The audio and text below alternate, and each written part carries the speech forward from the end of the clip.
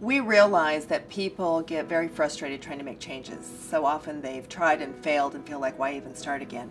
But what we want to make sure people realize is small stuff adds up in a big way. For example, in the area of weight, if a person were to simply eat five extra calories a day, I call it two Tic Tacs, the Tic Tac rule.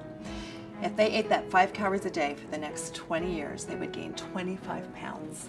And that sounds like it's terrible, terrible news, but the opposite is true as well. If they'd eaten five calories less, they would have lost 25 pounds.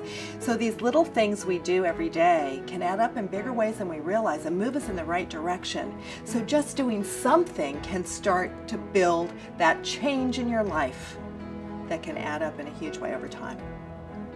Another example of how little things can add up in a big way is in the financial arena. When I first got published, it was in the area of couponing. I was the first original extreme couponer.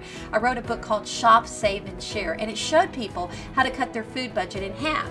Well, you may think that a 15 cent coupon or a 25 cent coupon doubled isn't a lot, but uh, those little things added up over the course of the last 20 years in our family. When we did the math of what we spent on groceries with coupons, we actually saved $160,000 over the course of 20 years. That's one of the reasons that all of our kids are graduating from college debt free, because those little things really do add up to big results.